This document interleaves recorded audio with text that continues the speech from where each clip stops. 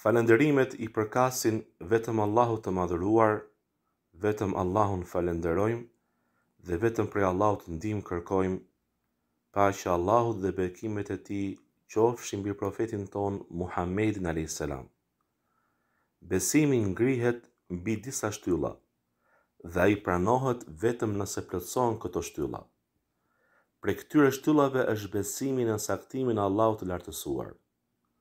Besimi në caktimin e Allahut të Lartësuar për çdo gjë që ndodh në univers, në bazë të asaj që e dinte më parë dija e tij dhe në bazë të asaj që kërkon urtësia e tij.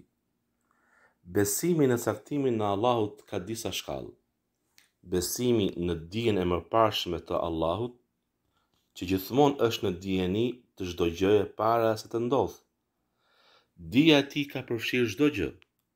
Ai di çfarë ka kaluar, çfarë është në të tashmen dhe çfarë do të ndodhë në të ardhmen, në përgjithësi dhe shtjellimisht. Allahu i Lartësuar thotë, Allahu është i gjithëdijshëm për çdo gjë. Nuk pranohet për Allahun që të dijë diçka të re pasi nuk e dinte dhe as të harrojë diçka pasi e dinte. Prej besimit në caktimin e Allahut është të besosh në shkrimin e asaj që do të ndodhë, ne besojmë se Allahu ka shkruar në Leuhu Mahfudh, në pllakën e ruajtur, çdo gjë në bazë të asaj që dija e tij e ka paraprirë në ato që do të ndodhin caktimet e çdo krijese. Çdo gjë që ka ndodhur dhe çfarë do të ndodhë për çdo krijesë deri ditën e gjykimit janë të shkruara tek Allahu. Allahu i lartësuar thotë, çdo gjë e kemi shkruar në librin e qartë. Profeti lavdërimet dhe paqja e Allahut qofshin mbi të ka thënë, Gjëja e parë që Allahu krijoi ishte kalemi dhe i tha atij, Shkruaj, dhe u caktua çfarë do të ishte deri në përjetësi. Prej besimit në caktimin e Allahut është besimi në dëshirën e Allahut të Madhëruar.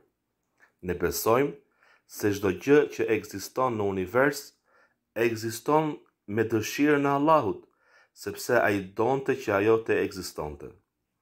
Çfarë Allahu dëshiron të ekzistojë, të ndodhë, do të ndodhë, dhe çfarë Ai nuk dëshiron, nuk do të ndodhë dhe ekzistojë. Ai, Allahu i Madhëruar nuk pyetet për atë që vepron, sepse Ai është i plotë në urtësinë dhe pushtetin e Tij, ndërsa krijesat pyeten për atë që veprojnë. Prej besimit në caktimin e Allahut të Madhëruar është besimi në krijimin e Tij. Ne besojmë se Allahu është krijuesi i çdo gjëje. Nuk ka krijues tjetër përveç Tij dhe as Zot tjetër përveç Tij. Çdo gjë përveç Tij është e krijuar. Ai është krijuesi i çdokujt që vepron dhe i veprës së tij, si dhe krijuesi i çdo gjëje që lëviz dhe lëvizjes së saj. Allahu i Lartësuar thotë, Allahu është krijuesi i çdo gjëje dhe tek Ai mbështetet çdo gjë. Ai që beson në caktimin e Allahut është gjithmonë i mbështetur tek Allahu dhe tek Ai kthehet i vetëm, në dorë të të cilit është çdo e mirë. i Lartësuari. Ai që beson në caktimin e Allahut i merr shkaqet e lejuara për çdo punë, sepse ato janë prej caktimit të Allahut.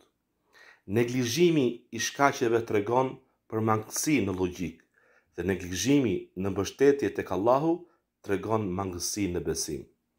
Kush beson në caktimin e Allahut, qetësohet në vetvete dhe nuk lëkundet përpara fatkeqësive, sepse ai e di se ato janë të caktuara. Allahu i Lartësuar thotë, Çdo fatkeqësi që ju godet në tokë dhe në vetet tuaja është shkruar në libër para se ajo të ndodhë. Kjo për Allahun është e lehtë, në mënyrë që të mos mërziteni kur humbni kur humbni diçka të dashur dhe as të gëzoheni tepër kur jua jep atë që dëshironi. Allahu nuk e do asnjë mendjemath mburravec.